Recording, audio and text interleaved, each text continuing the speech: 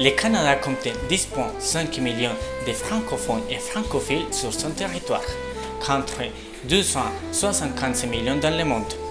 C'est pourquoi la francophonie offrait à ses citoyens canadiens une fenêtre dans le monde francophone. L'immigration canadienne n'est pas une réponse à la demande d'un groupe spécifique, mais la contribution réelle à la construction d'un Canada prospère. Les chiffres de la francophonie. Il y a 300 millions de francophones dans le monde.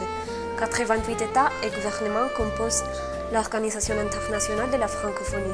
Le français est la cinquième langue mondiale et la quatrième langue sur Internet. Et actuellement, il y a 132 millions d'apprenants de français. Les pays et les fruits d'un mélange de plus de 200 origines ethniques différentes.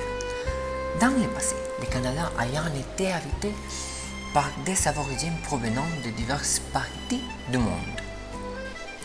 Un exemple particulier est la ville de Toronto, capitale de la province de l'Ontario, qui est classée parmi les plus multiethniques du monde.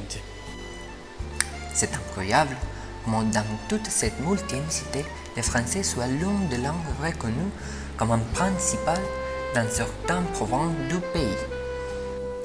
Parler français est très important parce que les francophones se retrouvent partout au Canada et dans des provinces comme le Québec et le Nouveau-Brunswick. Et le français est cultivé de manière significative sur la terre d'érable.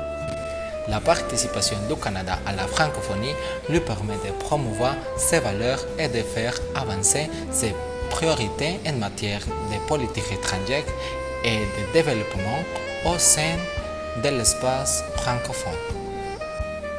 Les actions du Canada au sein de la francophonie visent notamment à promouvoir la paix, la démocratie, les droits de la personne et l'égalité des genres, recentrer la francophonie sur la langue française et ses valeurs, appuyer l'amélioration constante de la gouvernance, de la transparence et de l'efficacité des institutions de la francophonie. Et assurer le rayonnement de la francophonie canadienne sur la scène internationale, notamment des communautés en situation minoritaire.